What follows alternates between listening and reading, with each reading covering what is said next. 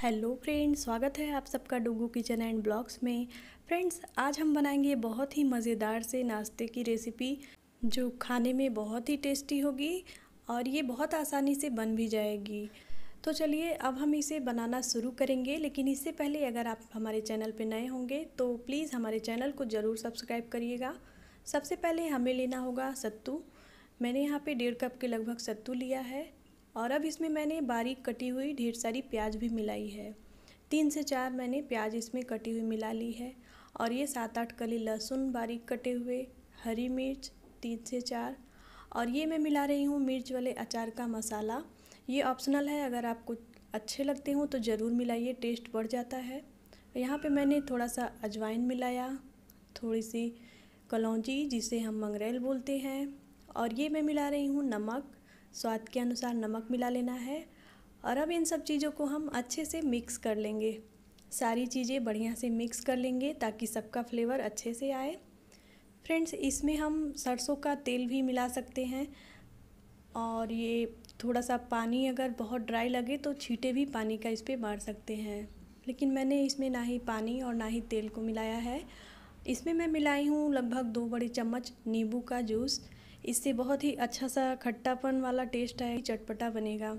खट्टा, तीखा, स्वादिष्ट, एकदम हमारा सत्तू का ये फीलिंग तैयार हो गया है। जब ये अच्छे से बाइंड होने लगे, समझिए ये तैयार है। और अब हम आटे की लोई लेंगे और कुछ इस तरीके से सेब देंगे, जैसे हम पराठा बनाने के लिए बनाते हैं। वैसे ही बना करके इसमें हमने जो सत्तू की फिलिंग तैयार की है, उसको भर लेंगे और इनको किनारों से दबाते हुए ऐसे गोल घुमाते हुए हम बंद कर देंगे। ये देखिए, बहुत ही अच्छे से बंद हो जाएगा। हल्का सा गोल करके हम थोड़ा सा चपटा कर लेंगे। तो यहाँ पे मैंने ढेर सारी लिट्टियाँ बना ली हैं सत्तू वाली। अब मैंने गैस पे पानी को गर्म करने के लिए रखा है। दो बड़ी गिलास पानी है। इनमें जब उबाल आ जाए, तब हमने जो सत्तू वाली लिट्टी बनाई है, उसको इसमें डाल देना है।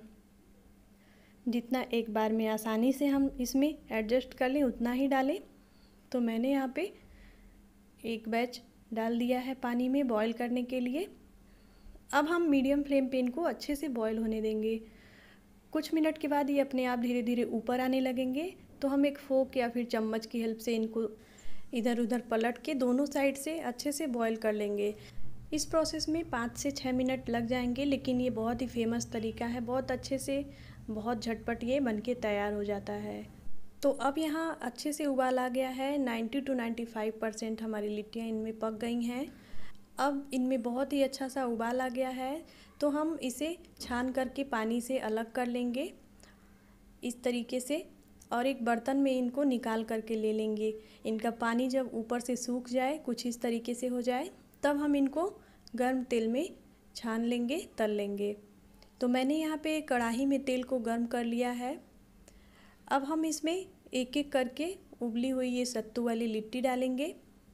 ध्यान रहे, हमें गैस का फ्लेम यहाँ मीडियम लो रखना है। बहुत हाई फ्लेम पे नहीं डालेंगे। तभी हमारी ये लिट्टियाँ खस्ता बनेंगी, अच्छे से तलेंगी। फ्रेंड्स, ये नाश्ता हम कहीं अगर ट्रैवल कर रहे हैं तो भी ले जा सकते हैं और ये दो दिन तक ख़राब भी नहीं होता है। ध्यान रहे, अगर हमें ज़्यादा टाइम तक इसे चलाना है तो हम प्याज को भून करके इसमें मिलाएँ, कच्ची प्याज ना मिलाएँ। या फिर हम प्याज लहसुन को स्किप भी कर सकते हैं। तो यहाँ पे मैंने धीरे से इसे पलटते हुए इधर उधर तीन से चार मिनट में अच्छे से तल लिया है मीडियम लो फ्लेम पे। ये देखिए, बहुत ही खस्ता दिख रही हैं, ये गोल्डन ब्राउन हो गई हैं तो हम इनको एक एक करके अब कढ़ाई से निकाल लेंगे। तो इस प्रकार से आपने देखा कितनी जल्दी और कितनी आसानी से ये बन के तैयार हो जाती हैं। आप भी इस विधि से ज़रूर बनाइए। और हमारा वीडियो आपको अच्छा लगेगा तो लाइक करना मत भूलिएगा।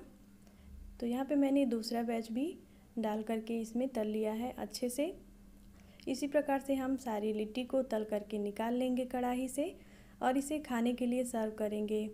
तो ये देखिए फ्रेंड्स, बहुत ही अच्छी सी हमारी खस्ता, एकदम कुरकुरी सी, स्वादिष्ट, सत्तू वाली लिट्टी बनके तैयार है। ये देखिए कितने अच्छे से इनमें क्रैक्स आ गए हैं, एकदम गोल्डन ब्राउन होके ये तली हुई हैं।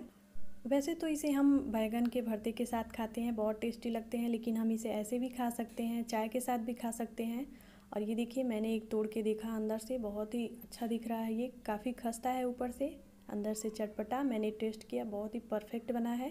तो ये रेसिपी हमारी आपको कैसी लगी, हमें कमेंट ज़रूर करिए, वीडियो को लाइक करिए, चैनल पे नए हो तो सब्सक्राइब भी ज़रूर करिए।